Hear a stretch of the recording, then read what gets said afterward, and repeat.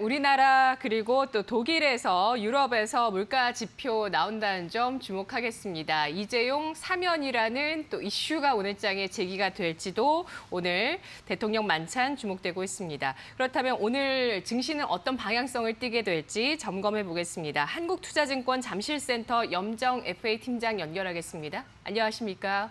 네, 안녕하세요. 네, 오늘장 상승 하락 보합 가운데 어느 쪽으로 예상하십니까?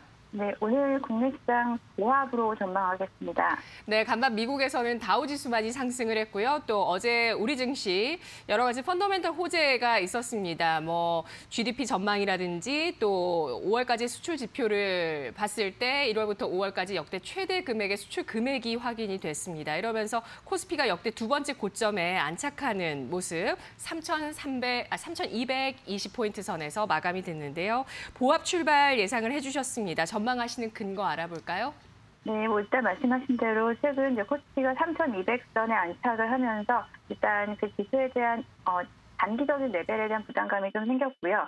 경기 회복에 대한 기대감은 지속적으로 있기 때문에 어, 지수가 좀더 어, 하방으로 좀 더 뚫리지는 않을 것 같다고 생각이 듭니다.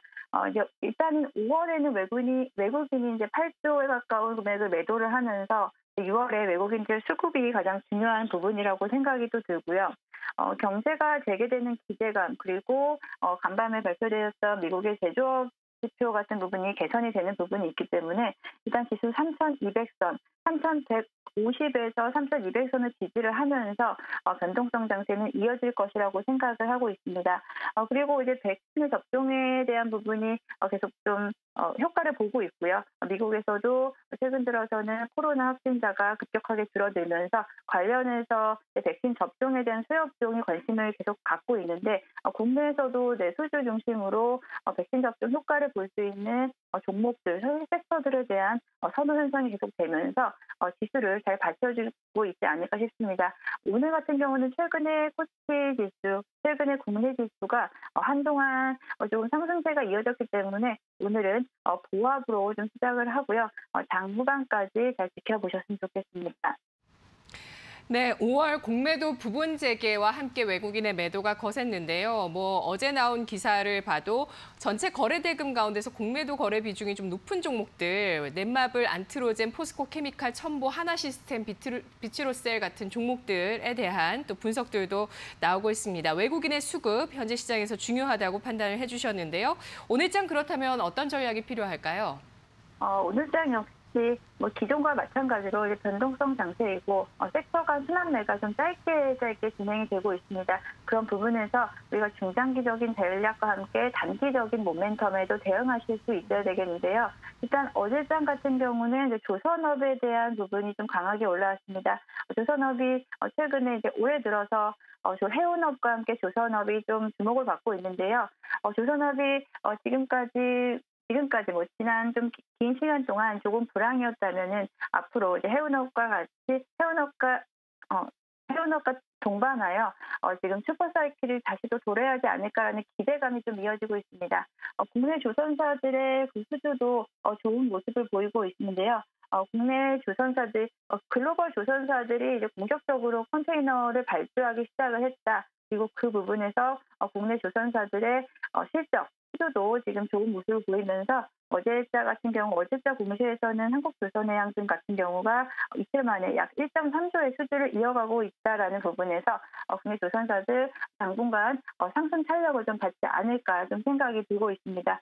어, 세계 선박 발주량을 보더라도 지난해 같은 기간 대비해서 약 172%가 급증을 하면서 전반적으로 조선업 그리고 국내 조선 조선주에 대한 어, 기대감이 더 커지고 있는 시기인 것 같고요.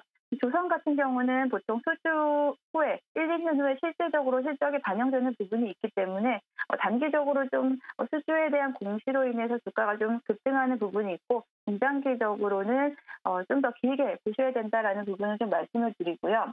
또 이제 백신 접종에 대한 효과를 계속 말씀을 드리는데 어, 백신 접종에 대한 효과로 일단은 뭐 항공주, 간밤에도 항공주와 그 여행주가 미국 증시에서 좀 큰 폭으로 상승을 좀 보였었는데 어, 국내에서는 그 여행주에 대한 부분이 살짝 좀 어, 고점인 레벨의 부담이 있었기 때문에 어제는 좀 쉬어가는 장이었었고요.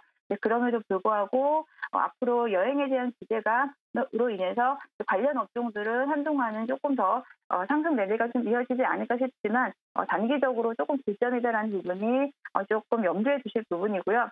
저는 여기에 엔터주에 대한 관심을 좀 가지셨으면 좋겠다라고 말씀을 드리는데 이 엔터주는 사실 어, 코로나로 인해서 어, 그 부분에 대해서 좀 실적이 둔화될 것이라고 예상을 했지만 1분기 실적 어, 오히려 좀 더 예상보다 훨씬 좋았다라는 부분은 어, 지금까지 이제 코로나 코로나로 인해서 좀 억눌렸던 이런 소비가 앞으로 이제 오프라인 공연이 재개됨으로 인해서 어, 그런 부분에서 오히려 실적이 좀더 어, 기존보다 훨씬 더 높아질 가능성이 있다라는 부분에서 엔터주 어, 단기적으로 좀 5월에 외국인 수급이 몰리면서 단기 고점이 됐었지만 어, 조정을 받을 시에 매진 엔터주 전반적인 어, 모든 업종에 대해서 관심을 가져주시면 좋을 것 같고요. 아무래도 많은 분들이 자동차 섹터에 관심을 가져주시고 있는데 어, 이제 어, 순환매 섹터에서 아직 지금 주- 자동차 섹터가 크게 오지는 않았지만 어, 본격적으로 주가가 상승하는 어, 주가가 상승하는 그리고 하반기부터 차량용 반도체에 대한 수급이 조금 더 숨통을 트이면서 어, 주가 상승세가 오기 전에 어, 미리 선점하는 매수 전략도 유효하실 것이라고 생각이 듭니다.